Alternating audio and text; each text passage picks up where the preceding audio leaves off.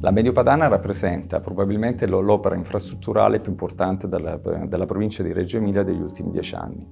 Prima di tutto la bellezza dell'opera, che ci viene invitata da tantissime altre parti del mondo proprio per la bellezza dell'opera in sé. E due, la posizione. Ha dato una grandissima visibilità alla città di Reggio Emilia, soprattutto sulla 1 e per quel traffico che è da Milano a Bologna, che è il traffico di business più importante che abbiamo oggi in Italia. La Mediopadana rappresenta, dal mio punto di vista, un punto di partenza e un punto di arrivo. Punto di partenza verso Milano, verso Bologna e verso tutto il resto d'Italia. In questi anni Reggio Emilia ha goduto sicuramente di uno sviluppo legato anche allo sviluppo di città come Milano. Io faccio sempre l'esempio che durante la Fashion Week è molto difficile trovare un hotel a Reggio Emilia e credo che lo sviluppo immobiliare di Reggio Emilia ormai sarà legato non semplicemente alla città di Reggio in sé, ma anche allo sviluppo di questa metropoli che è così vicina a noi. Pensiamo che ormai da Reggio per raggiungere Milano è più breve che da Brescia per raggiungere Milano. Da questo punto di vista molti investitori stanno guardando alla nostra terra, all'Emilia, che sicuramente si è avvicinata.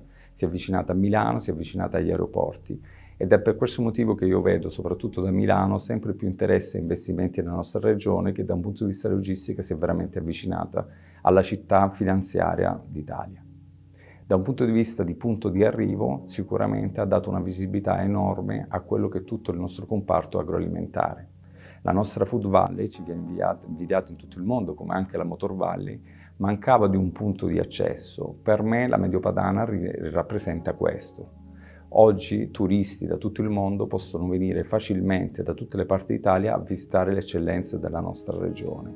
E la posizione logistica di Reggio Emilia nel mezzo tra Parma, Modena, Bologna, ci dà un vantaggio competitivo enorme per far vedere, iniziando dalle nostre colline, tutto quello che di bello ha da offrire la nostra regione.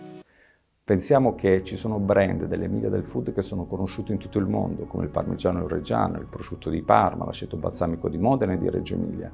Ecco, la Medio Padana ci permette di essere una vetrina per tutti questi prodotti, per tutto quel mondo che passando vuole fare un'esperienza nella Food Valley. Se pensiamo per esempio ai nostri Appennini, i nostri Appennini sono tra i più belli, ma anche tra i meno conosciuti, sia dagli italiani ma anche dagli stranieri.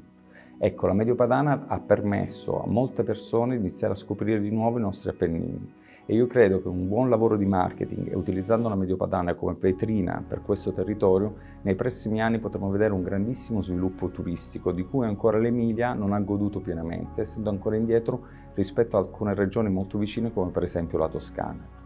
Quindi gli ultimi dieci anni della Mediopadana io ne do un risultato sicuramente positivo, ma credo che ancora il meglio debba ancora venire per le potenzialità che la Mediopadana porta al nostro territorio.